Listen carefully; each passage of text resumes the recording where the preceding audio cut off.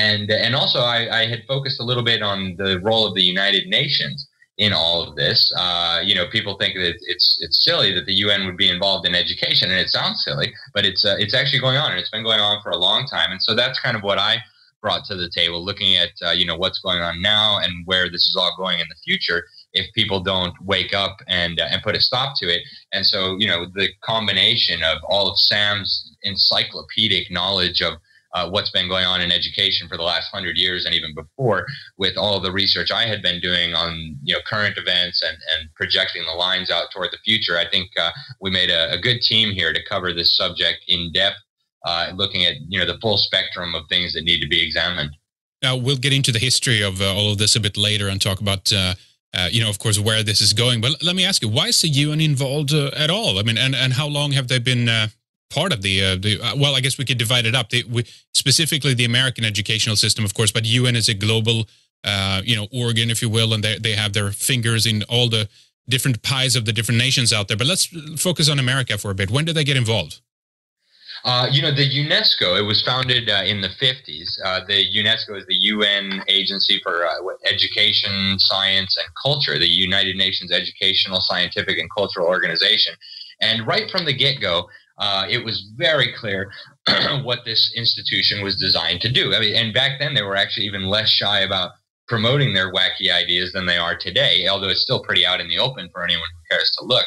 But uh, you know, right from the very beginning, they put Julian Huxley in charge, and uh, and he identified the mission of UNESCO. We're, we need to build a culture uh, through education that will allow us to have a global government, a global uh, culture based on humanism uh, that uh, you know is going to supposed to lead us to this uh, new world of peace and prosperity and happiness and understanding and all these kinds of wonderful things.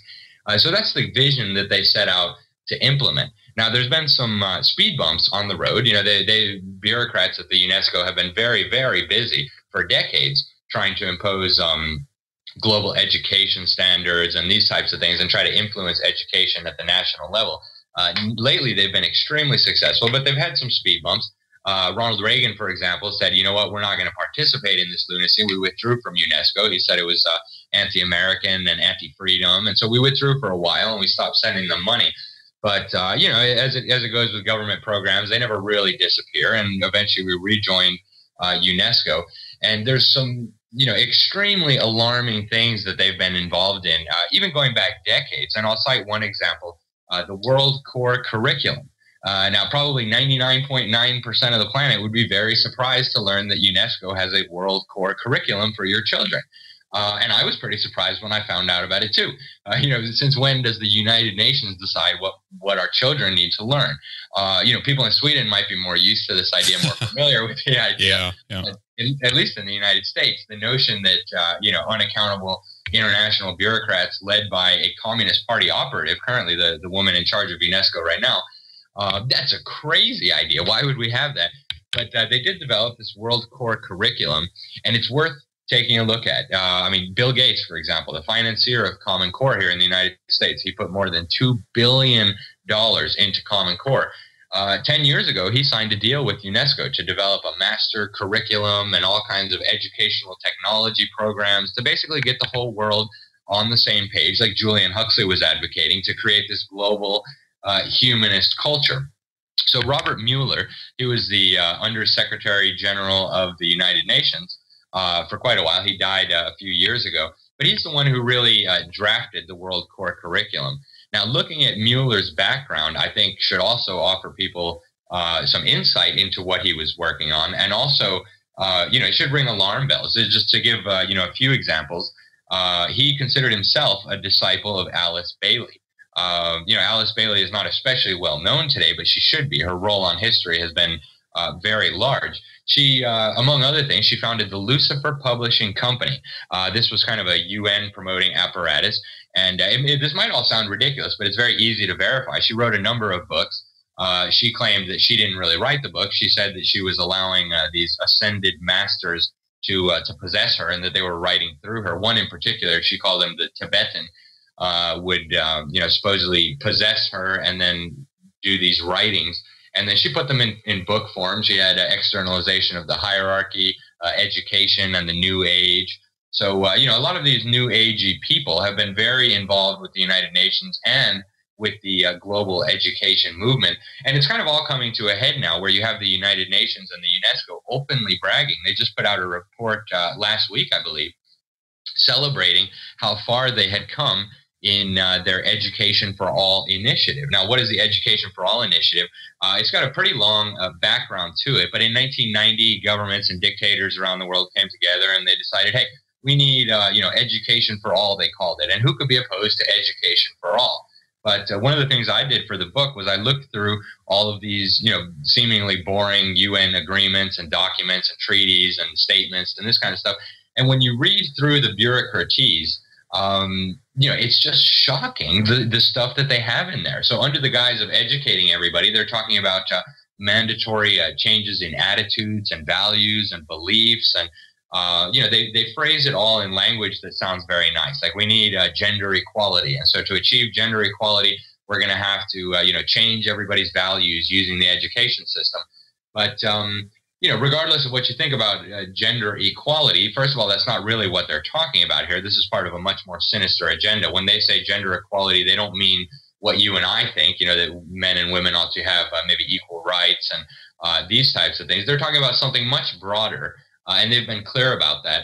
So, um, you know, then they, uh, 10 years later, they got together in 2000 and they signed another one of these uh, global education documents and they laid out 15 planks for where they wanted to go with global education.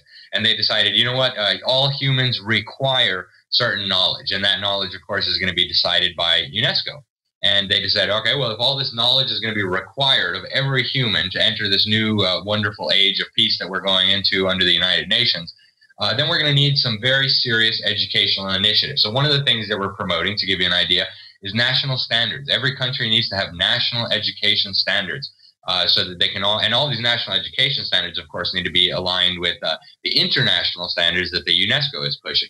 And then to monitor compliance with these national standards, we need to have uh, national testing programs that are aligned with the national standards. So for Americans, that probably sounds very familiar at this point. We have national standards under the guise of this Common Core. I, I call it Commie Core or Obama.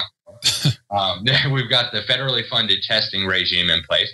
And uh, UNESCO just put out a report saying how great, you know, we went from basically no countries with national education standards to something like 100 countries with national education standards. So we're making great progress. Uh, we need to do more, of course, uh, you know, the UNESCO thinks. But uh, hey, this is really great progress in implementing our uh, 15 point agenda to radically reform education around the world. And, and that's where we are today. I mean, the, the UNESCO is uh, pushing pornographic sex education in all of our schools uh, and all around the world. I mean, they, they put out reports literally saying that the kids, you know, from zero to five need to be introduced to uh, masturbation and homosexuality and homosexual marriages. And then when they get a little bit older, they can learn about, uh, you know, things that are too pornographic for me to even discuss on, on a radio program. Yep. But uh, that's the kind of stuff they're pushing on our students. Yep, you're, you're right. And uh, I wanted to ask you, there's a lot of points of what you brought up there we can examine it more in depth here, but you talked about the World Core curriculum. I, I didn't know about this either. And uh, it's, it, do, or does UNESCO pretend to be um, politically impartial? Because just as you explained, most of the people – seem to have a foot in, in either socialist parties or flat out the communist party. I think uh, Irina Bokova, who is the current head, I think she is. Uh, uh, she was part of the Communist Party from 1990, and then they rebranded, of course, to the Socialist Party after that point in uh, Bulgaria. And she is also the daughter of uh, Georgy Bokov, who was the uh, uh, editor of chief in the um, in the official newspaper of the Bulgarian Communist Party. So um, that seems that they're not kind of impartial when it comes to the political aspect here. Uh, you're exactly right, Henrik. And you you, what you said about the head of UNESCO right now, this Irina character, is right on the money. And uh, you know, the whole entire organization is dominated by these types of characters. If you look at who chaired their most recent general meeting, uh, where they bring all the kind of governments and dictators together to have this big meeting, it was a Chinese communist, an operative from mainland China. Uh, you know, loyal to Beijing, obviously. So you have these uh, international organizations run by actual communists. It's not just the Red Scare and fearmonger. These are actual communists with documented communist backgrounds or actively serving Communist Party run dictatorships uh, yep. who are running this UN education agency. And the whole time they're pretending like this is all just, you know, neutral, philosophically neutral, religiously neutral, just uh, knowledge that all humans need to have. But if you examine this uh, so called neutral and uh, content neutral and value neutral knowledge, what you'll find is that it's anything but that. And, you know, Swedish people are probably. Uh, at least the ones who listen to your show are probably very familiar with this kind of stuff. The government there uh, pretends like they have a, philosophically and religiously neutral curriculum. uh, that is absolutely untrue. Yeah. Um, they, you know, just saying that is a, is a value statement in and of itself that somebody could be objective in those areas. But this is happening at the global level. It's you know, it's no accident. It's all by design. And uh, they tell you openly that the goal is to change the values and the attitudes and the beliefs and the behavior of um, you know all of humanity using the education system. Now, do you think that they have an agenda to, I don't know, fulfill the dictates of, let's say, a, a socialist inter- or communist international or something like that to to try to create create this kind of uh, you know global you know communist state? It's not it's not far fetched for us to go there. I think uh, when we consider the people involved, right? Uh, you're absolutely right, Henrik. And one of the things that I think is most astounding is that they talk about all this stuff openly. Uh, we don't need to engage in any theorizing to say that this is their agenda because they've told us this is their agenda. Going back to Julian Huxley, the first uh, head of the UNESCO, he told us what he was doing. He wanted a world government, a world culture based on humanist philosophy. Um, and, um, you know, that's what they're moving towards. So we don't have to speculate. They tell us they're building a new world order. They tell us what this new world order is going to look like. We can see that it's dominated by communists and totalitarians and utopians and self described progressives. Um, so you know, there, there's no need to to theorize here at all. It's all out in the open, and that's one of the things that we do in the book is just get together all the primary source documents. They're available on the UN's webpage. They're not hiding this in any sense. The the thing is, the media is not reporting it, so people get shocked when they hear this and they say that couldn't possibly be true. So we spent a lot of time on the bibliography making sure that first of all we're using primary source documents it's coming straight from the horse's mouth if you want to argue argue with the un because they're the ones who put the documents out saying these things um, and and secondly we would we just wanted to make sure that you know it's not us saying this this is them saying this and us telling you that they're saying it so you know, if you want to be mad at somebody, be mad at the media for not connecting the dots and not reporting on these things. Yeah, exactly.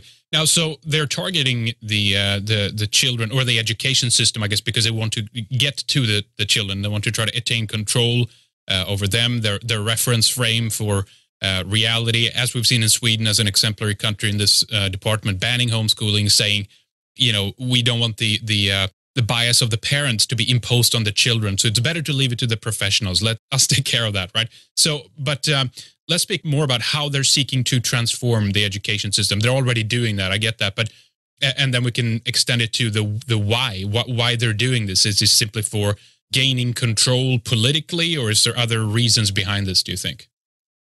Um, you know, it, I think most of the players in here have their, you know, their own unique motivations. Like one thing that you notice here with the Common Core, for example, is that you have the big business community supporting this, and you would think, uh, you know, big business would not want a bunch of dumbed down workers. You know, who's who's going to engineer the products of the future? Who's going to solve the problems of the future?